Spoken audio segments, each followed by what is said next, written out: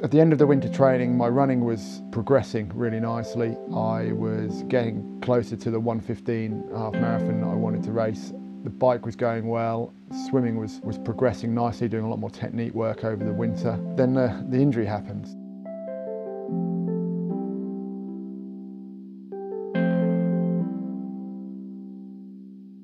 We discovered it was definitely the popliteus muscle. We did a lot of work, a lot of soft tissue massage on that and did some strengthening work and it's getting there now. My legs do feel stronger than they were.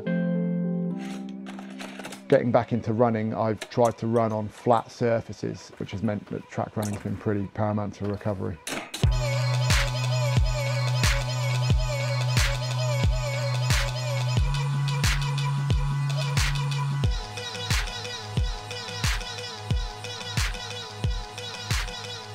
Just before Christmas, we got down to running Ks in three minutes quite comfortably. Now I'm building on running two Ks in six minutes. And once I can get to that comfortably, I shall move the duration on accordingly.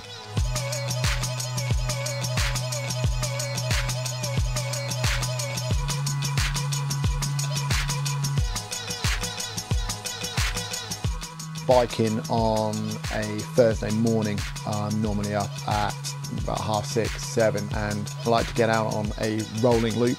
It's just a little bit more race specific. I can work on efforts at the top of the hill and try and maintain my effort over the hill and then back down the other side. It's, uh, it's very good to get out on my own, whether that be through choice or through necessity. Triathlon at the end of the day in all of my races, I'm going to be cycling by myself, so it's good practice.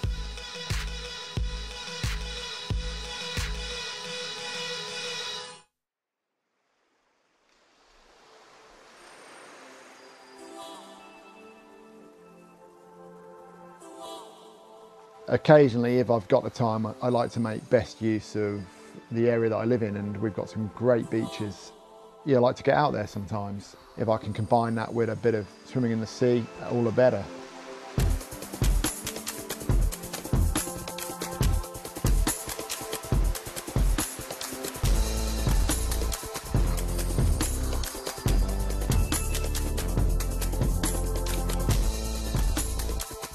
You swim in a different environment. You've got waves, you've got a bit of a current, sighting's more tricky in the sea, and um, it's a good experience for you.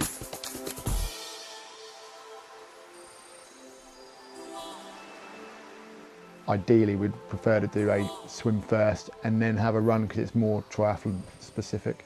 Uh, you've got some dunes to run, north of Norfolk, uh, very sandy, long stretches of beach.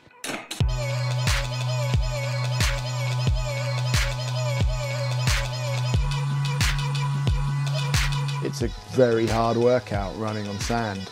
It's certainly a skill you need to practice.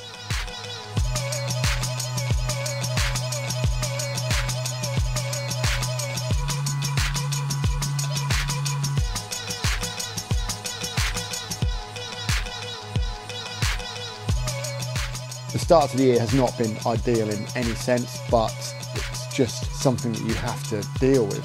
I think I've managed it quite well. I'm almost back to where I was before Christmas. I've had to reassess what my A races are.